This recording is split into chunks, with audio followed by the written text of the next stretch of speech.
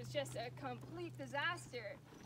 So he had to constantly stop and repair the boat. He thought that, you know, his load was too heavy, so he dropped off all this bacon on shore, thinking that there'd be a lot of hunting and food.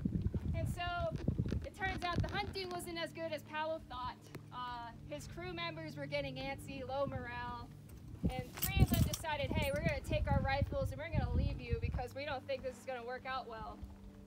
And so, you know, they continued their journey, and on the other side, at the end of the Colorado, there was a group of Mormons waiting because they thought they were going to be collecting wreckage and bodies.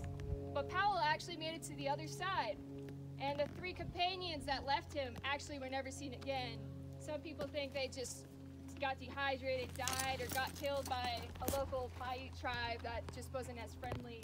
Um, but they came out the other side as national heroes. And then eventually, the government actually gave Powell federal funding to actually map the rest of the canyon.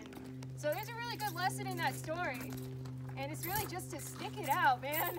They, they missed that, uh, the exit of the river by one day. If they just would have stuck with Powell for one more day, they probably would have lived. Um, they're not included on like the park death toll because they don't know actually what happened. Uh, but also in the 1540s, the Spanish conquistadors came to this area of the canyon and they overtook the Hopi Indians.